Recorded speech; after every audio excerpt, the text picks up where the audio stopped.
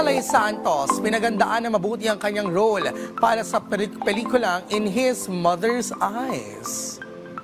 Sa Grand Media Conference upcoming family drama film na In His Mother's Eyes, tinanong ng isa rin sa parte ng cast na si Ogie Diaz na si L.A. Santos kung paano niya pinagandaan ang kanyang role sa movie.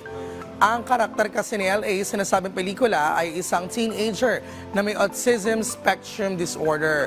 Sumagot naman ang actors or actor-singer at sinabing ang una niyang ginawa ay nirespeto at minahal ang mga taong may special needs. Ginawa ko po yung lahat. Nag-research po ako ng mabuti. At saka nakipag-usap po ako sa mga mami na may anak na special po. Kaya gusto ko pasalamanan yung Best Buddies Foundation dahil sila Miss Grace po. ah, sila po yung tumulong sa akin na mas mag-research pa po para sa character ko po.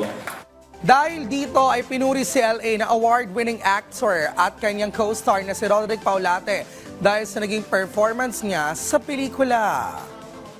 Sinabi ko kay LA, isang direktor ang tumawag sa akin at tinatanong kung sino si LA Santos. Kasi trailer pala, believe ka siya.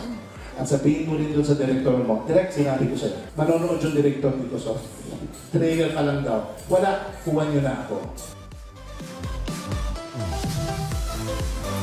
President sa MediaCon ang iba pang cast ng pelikula, kabilang narito sina Diamond Star Maricel Soriano, Myla Gumila, Ruby Ruiz, Vivori Esclito, Rain Parani, Elison De Dios, Bong Gonzales at Ina Evans.